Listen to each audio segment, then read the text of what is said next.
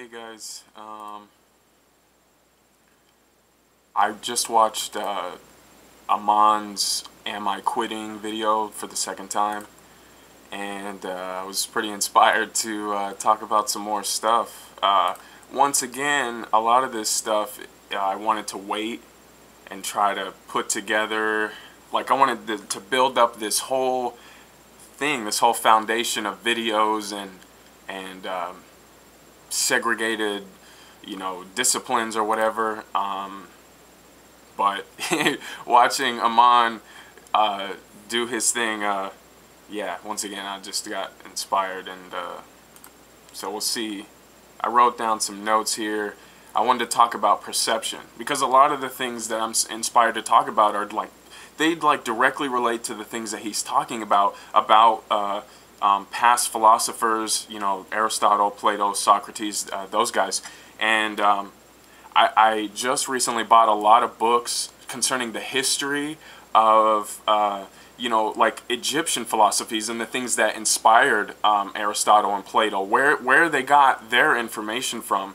Um, and I mean, this goes so much into the Bible and the different religions of the planet in terms of when there used to be um, a specific perspective of understanding. Like education was very spread out a long time ago. I mean, this is so clear uh, based on the pyramids that the people who had the power uh, knew a lot about um, reality. They understood about perception and about our place in the world uh, because the, the people, the most educated people in terms of overall initiated, educated people on the planet um, over time have been those with the highest understanding of perception, the highest integrity of their body, their physical, like every, I mean, clearly we have a bunch of psychopaths in power now, but once again, this just relates to uh, uh, previous times in history uh, and the inter interconnectedness um, of our current paradigm and in terms of how it's breaking up. And and the reason the Bible touches on this so well is when it talks about the Tower of Babel and the fact that we are ignorant of our own history and of the own relativity of all these different cultures uh, has a lot to do with why we are broken as a as a people. We we think just too we like like uh, Amon was saying, everything is relating to the same things. And Jesus is a perfect example of going into the cave and taking people out. And this is why I want to talk about perception because perception is not just a concept in your brain. Perception is the act of your own form, your eyes doing a certain thing, your ears, your senses, your ability to interpret your reality, your environment. And science now, a major theme is coming out with the understanding that the space defines you, your environment, just in terms of this actual thing that you think is physical space between us. All of the waves, everything is being is an interference uh, pattern, and this also relates to chaos theory. And so many disciplines are all interweaved in this, and this has to do with real wisdom and real understanding of perception and the way that we can solve problems as well. And going into the cave is symbolic of empathy. It's, it's symbolic of adjusting your form to associate yourself and create a relationship. You're, you're creating an association and then there's a repetition where, which forms resonance. And these are directly related to the laws of the actual universe as well as our um, psychological and conceptual uh, uh, structure. And the reason we are having so much trouble now is that the people who were empowered, the people, okay, think back maybe at least like a hundred years, but much further back, the the relationship of the families that controlled your resources because these are the associations that get you fearful that get you attached to things like government and all of the different cultural things that we have is your association the resonance and of relationship that you form with the things like money that it buys food. So your apathy consists of you not participating in the, the, the things that you depend on for all of your uh, perceptual uh, uh, um, attachments. So if it's a sexual perception, your your energy is a form of that, or or be it drugs or overeating or anything is a form of energy dissipation towards the things that create you.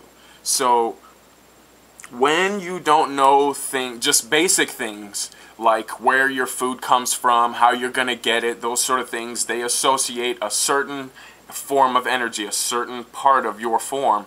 Um, and the the whole thing with the political system is it gives the ability politicians attorney generals like these certain positions to create a barrier between your ability to perceive reality we create all these structure all this law and stuff and we create a form of um, what I would take from a book called Time in the Technosphere. I would take the noosphere, the the um, the just psychological associations. Oh, if I don't pay my taxes, I'm gonna go to jail. Like that sort of thing. Um, it there it creates a lot of confusion. You can see that certain positions in society, when they are most um, abundant, you know, it's it's it, it's it's very um, telling and when I listen to politicians, I listen, they create a barrier, barrier between the actual use of military force from, from government. They spread this propaganda, they use the media, they talk about this th things in a certain way that obscure, obviously, what people who are very highly specialized in uh, tactics of force and the manipulation of information and the use of codes and the use of, of symbolism to, I mean, this is, this is so much relative to the reform in education. We need to talk about our history. We need to talk about things like the fact that they know that people used to exist on Mars and that how re somehow relates to our history of influence in terms of what we are uh, uh, under the result of cosmic forces. Like that to me is the foundation of what we need to be building more so than the talk about politics and eco economics because once you understand reality and your ability to perceive it and the fact that you are a co-creator, you're not a filthy rag, you're not you're not what you think you are.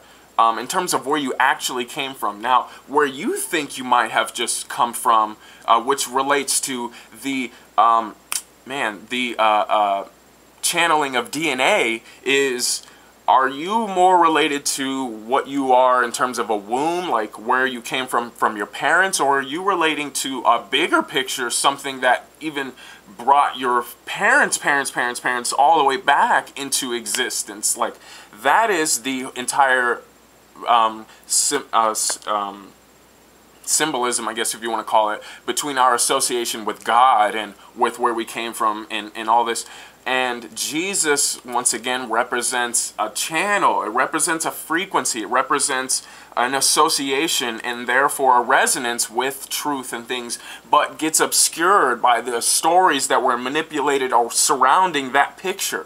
That's what you need to understand about Islam too, and all of these different religions you think are so different. I mean, it's you you find so much about watching this these videos and the internet is once again it's like the created a node another sort of um, a I don't know what a refraction point or something um, in terms of our ability to reassociate, reconnect with the cultures all over the world, recap our history, and talk about, okay, how can we actually fix the things? Because, I mean, there are real problems that sort of expand to collective in terms of how to adjust to the new. Uh, uh, weather changes by migrating and we also have to change how we structure our food because we have so much waste in terms of creating plastics and things. We have to try to find a way to network um, sustainable practices of like reuse. Like when we do uh, shipments back and forth for food and stuff I think we have to um, use uh, uh a certain like like um, man totes or something like that I was trying to find a more technical way of describing it. Sometimes I just get caught up in the... Um, and this is what I was mentioning about cloud computing because there are just a lot of ideas that and of and advances in technology that we can now network to make sense and and make things easier and be able to get more things to more people.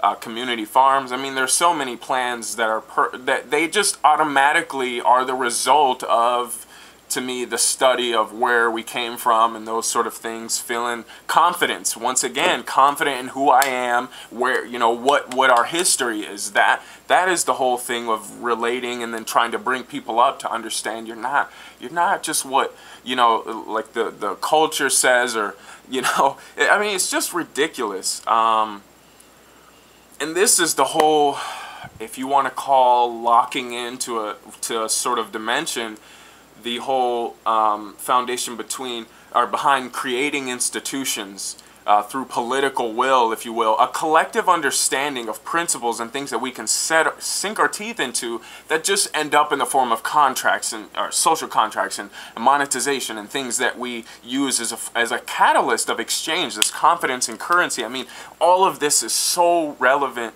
It's just incredible. And that's the, that is the beauty of finding new things all the time to, to sort of put this whole geometric puzzle together. Um, I'm not sure if I'm going to end it uh, shortly. I may be running out of things to say. Uh, let me see.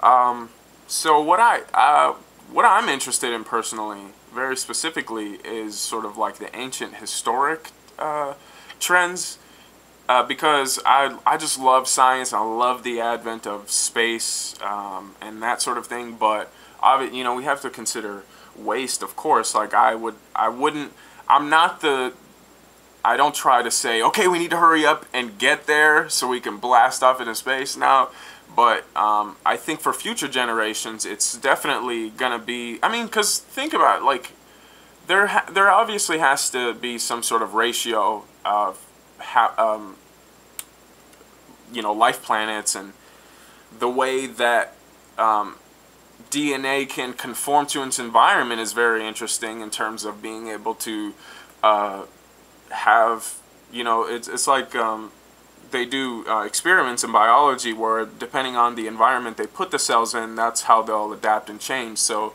that is very interesting in terms of adaptability to uh, atmospheres, and that probably has a lot to do with uh, the history behind how um, uh, different sort of looking beings came into being. I mean, I don't know. It's I, that's why I got the books because I have to read like a lot of it. And uh, you know I don't want to obviously talk about things that I have no clue. I don't know what I'll just be talking about nothing because I don't know what I'm talking about. So with that ado, I probably will end the video here um, until the next time. So.